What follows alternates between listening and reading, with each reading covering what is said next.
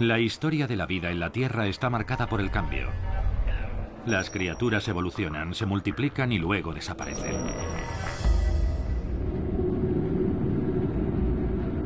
Imaginen nuestro mundo hace millones de años. Una época con su propio y extraño equilibrio, perfecto e insólito. Pero en un instante, todo cambió. Una colisión cósmica liberó millones de toneladas de carbono a la atmósfera. La temperatura del planeta subió y la vida prácticamente desapareció. Avanzamos en el tiempo hasta la actualidad y vemos que el planeta de nuevo se calienta, pero esta vez no es por culpa de un asteroide. Es la consecuencia imprevista de nuestra industria e inteligencia. Los humanos somos seres tan ingeniosos que en solo unos cientos de años hemos transformado nuestro planeta, pero ¿seremos tan inteligentes para recuperar el equilibrio perdido? My name is Jizza from a group called Wu-Tang Clan. Music has been my vehicle to discover scientific and universal enlightenment. It has taught me to thrive in environments where I not only learn, but question what I learned to find a deeper meaning. As I observe the world around me, I search for answers. How is everything connected? Will we rise above the world's greatest challenges? And how will science transform our future? In a fluid and constantly changing universe, where do we fit in?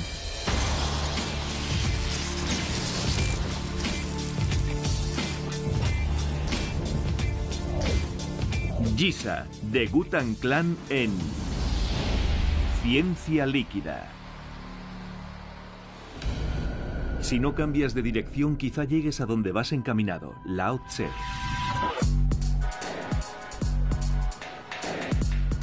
Me crié en Nueva York. A medida que yo crecía, la ciudad cambiaba. Nuevos rostros, nueva energía y un nuevo paisaje. Desde fuera parece un lugar caótico. Pero dentro de estos cañones de hormigón existe un equilibrio propio. Aquí aprendí que para tener éxito tienes que adaptarte constantemente. Sabemos que el cambio climático es ya una realidad. La pregunta ahora es, ¿qué podemos hacer para transformar esa realidad?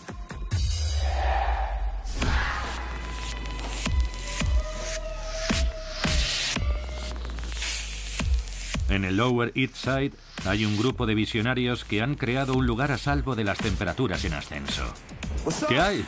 Y está bajo tierra. ¿Cómo te va, tío? Bien. Gracias por atenderme. Muchas gracias a ti por venir. Esto parece territorio ocupa.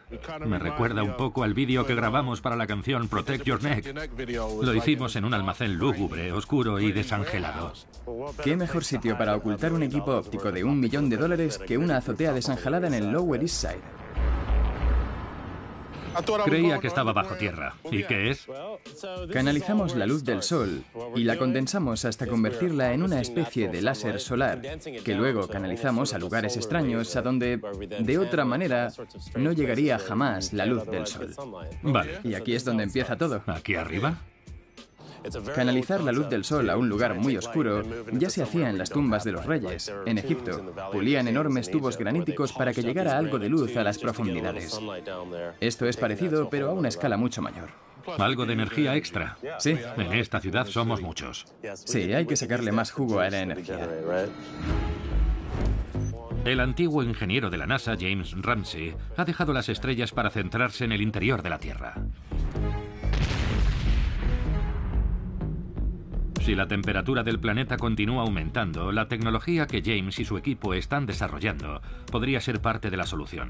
Al canalizar la luz del sol bajo tierra, llevan la vida a un enorme parque subterráneo que han llamado Love Line. Este den, bañado por el sol, podría ser el primer paso hacia la vida subterránea, a salvo de los efectos del cambio climático. ¿Estos son paneles solares? Son seguidores solares. Captan la luz del sol y la envían a estos mecanismos de concentración. Funciona así. Tenemos una superficie parabólica que concentra la luz del sol hasta 30 veces. Y en ese punto la redirigimos en un rayo paralelo a un juego de tuberías que bajan a nuestro espacio subterráneo. Es como si estuviéramos convirtiendo la luz en un líquido. ¿Hasta dónde podéis llevar la luz a través de esas tuberías? Hasta unos 750 metros. Al hacer esto, estamos reproduciendo casi a la perfección el tipo de luz que necesitan las plantas para crecer. Y tenéis plantas allá abajo. Sí. El sol es nuestra única fuente de luz. Al licuarla, por así decirlo, podemos canalizarla a más de 700 metros bajo tierra y crear vida. Imaginen un lugar bajo tierra, donde los humanos pudieran vivir protegidos del impacto de los cambios climáticos, pero ¿nos sentiríamos vivos sin notar la lluvia, la brisa o sin ver el cielo nocturno?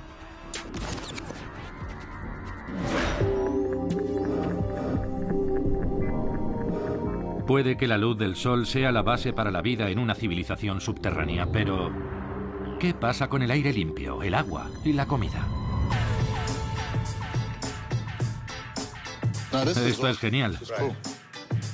Veo que tenéis un foco pequeño y dos más grandes.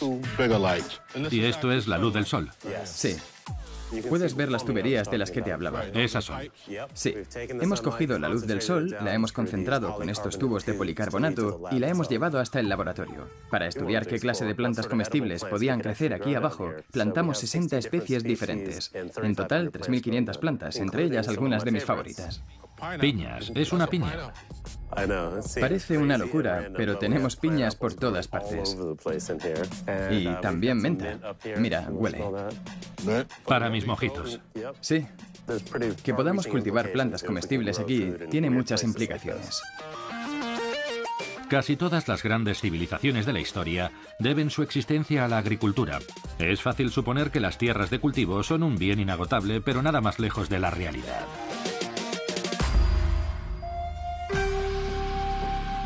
Imaginen la Tierra como una manzana. Córtenla en cuatro trozos. Tres representan el agua que cubre la superficie del planeta y donde es imposible cultivar nada. Del cuarto restante, la mitad es la tierra habitada, pero que quizá no sea apta para el cultivo, ya que es terreno habitable pero donde no crece nada por estar cubierto en un 75% de carreteras y ciudades. Eso nos deja con solo esta sección. Apenas una 32 parte de la superficie de la Tierra es apta para el cultivo. Y con el cambio climático, esa proporción disminuye. ¿Puede ser el lecho de roca de Manhattan el terreno de cultivo para una nueva revolución agrícola global? ¿Cómo se controla el clima con esta tecnología? En todas las etapas y de todas las piezas del equipo óptico vamos extrayendo la luz infrarroja, es decir, el calor. De todas formas, como esto está bajo tierra, la temperatura es constante y cálida de por sí, como en las bodegas. Solo añadimos la luz del sol, no el calor. A esta profundidad, la luz del sol no aumenta la temperatura de la sala porque vosotros la controláis. Eso es. Lo que estamos haciendo tiene muchas implicaciones, ahora y en un futuro. Desde ser capaces de mantener ecosistemas subterráneos a simplemente suministrar luz natural cuando las condiciones en el exterior sean hostiles. Esta tecnología nos permitiría seguir alimentando al planeta mientras buscamos otras soluciones.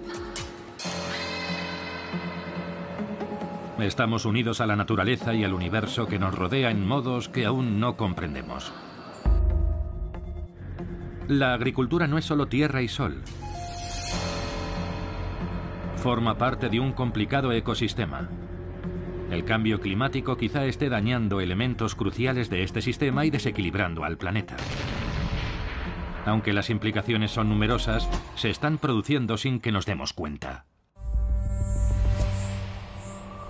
A las afueras de Boston, varios ingenieros de Harvard están creando nuevas tecnologías que nos ayuden a restaurar el equilibrio de la naturaleza. ¿Para qué sirven estos robots? ¿Cuánto falta para convertirnos en la familia de perdidos en el espacio? Sí, la ciencia ficción que vimos de niños nos ha influido mucho. Estamos trabajando en un par de proyectos muy interesantes. Uno está dedicado a la creación de robots muy pequeños, abejas robots para ser más exactos. Cuando se sienten a comer con la familia y los amigos, recuerden el trabajo desinteresado de las abejas. Junto con los pájaros y los murciélagos, polinizan plantas y árboles que producen un tercio de todo lo que comemos. Sin los polinizadores, nuestros platos estarían vacíos y el mundo sería menos hermoso. La población de abejas ha descendido en un 25% desde 1990. ¿Será por el cambio climático?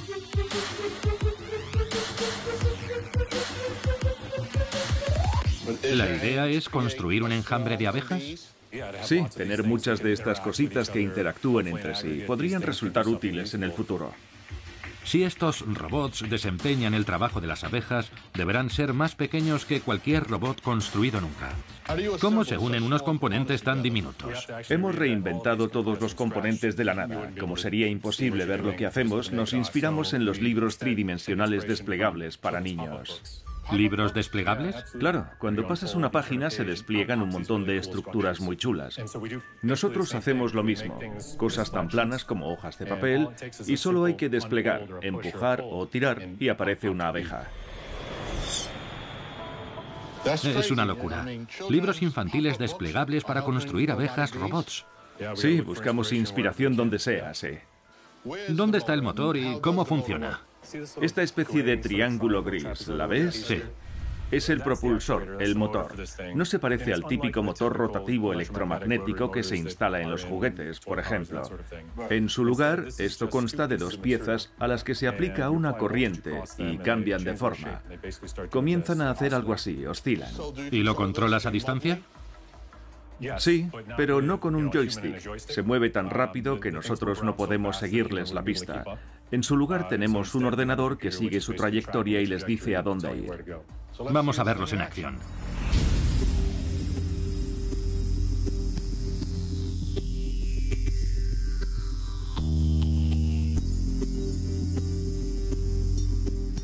Agita las alas 120 veces por segundo. Y en esta otra imagen puedes ver cómo se mueven. ¿Esas partículas son humo? Sí, son partículas de humo. Están ahí para ver cómo se mueve el aire, y así es como el ala propulsa el robot y este se desplaza por el aire.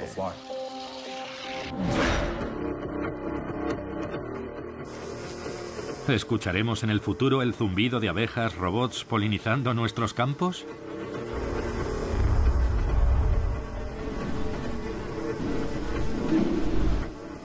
Esta flota de polinizadores mecánicos puede operar en diferentes condiciones adversas provocadas por el cambio climático. Quizá este solo sea el comienzo.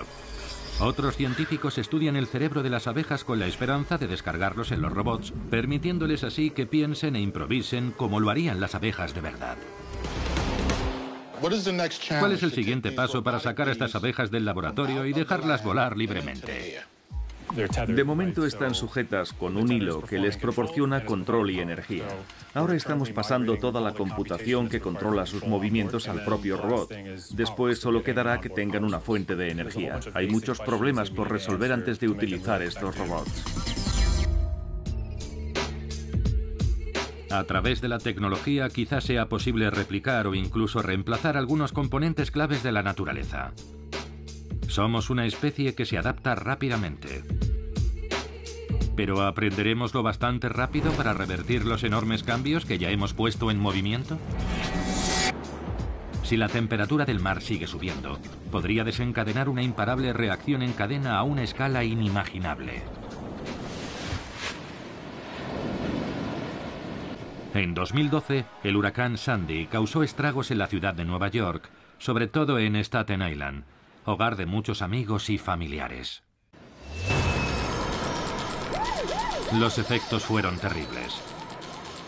¿Cómo podemos adaptarnos a las tormentas caóticas que, con toda probabilidad, serán más frecuentes con el aumento de las temperaturas? En el corazón del pasillo de los tornados, investigadores de la Universidad de Miami están realizando espectaculares experimentos para predecir mejor los cambios en la climatología.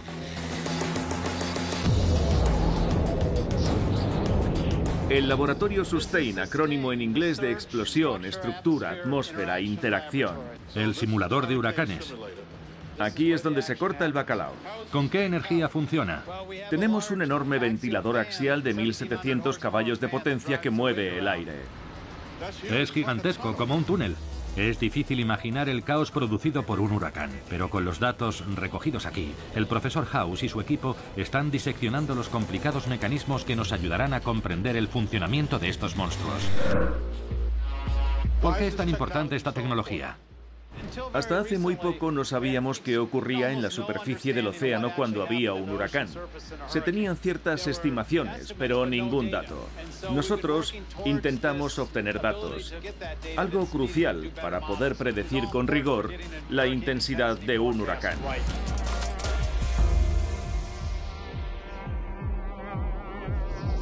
Con mejores herramientas y más estudios como este, Quizá podamos predecir dónde se formará un huracán y la trayectoria que siga con días o semanas de antelación. Se salvarían cientos de vidas. En estas instalaciones trabajáis para crear predicciones más precisas. Si conociéramos con varios días de antelación que se acerca un huracán de categoría 5, por ejemplo, la evacuación estaría mejor organizada. ¿Estas olas se pueden surfear? Pues no sé surfear. ¿En qué punto estamos? Ahora los vientos tienen la fuerza de una tormenta tropical y se están acercando a la categoría 1. ¿Esto no llega ni a categoría 1? Eso es. ¿Podemos subirlo a categoría 5? Claro, le daremos caña. Sube la intensidad del viento.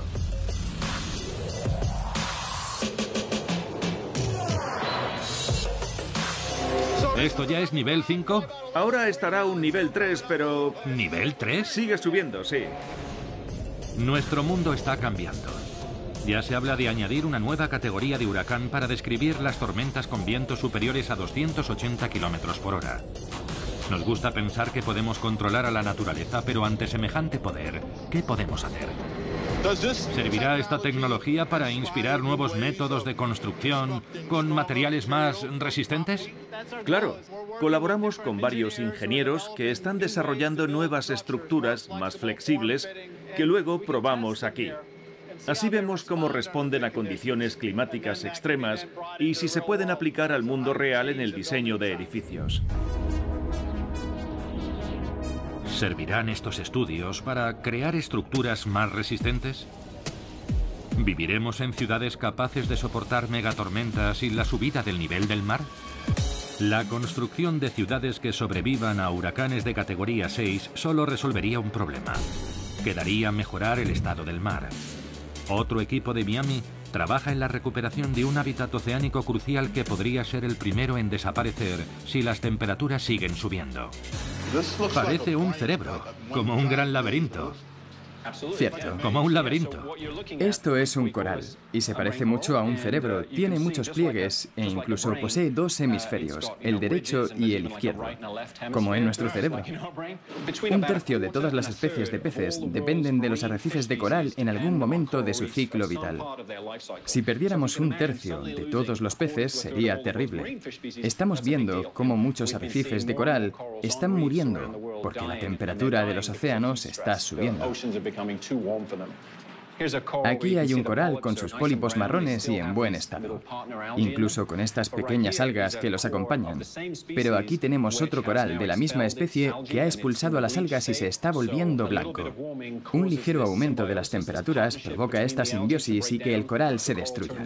El coral se vuelve blanco en un proceso llamado blanqueo del coral y a no ser que se recupere y adquiera otra vez su tono marrón, morirá.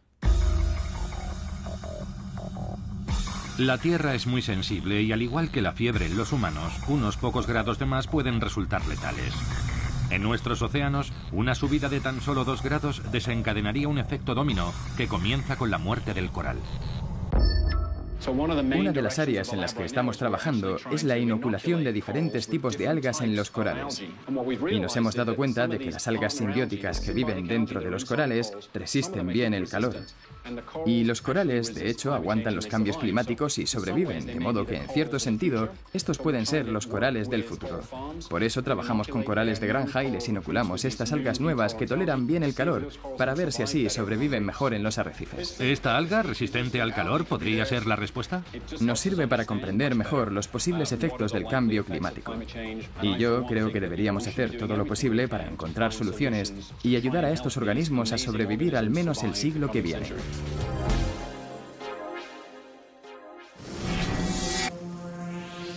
La Tierra tiene más de 4.000 millones de años. Los humanos llevamos aquí menos de un 1% de ese tiempo.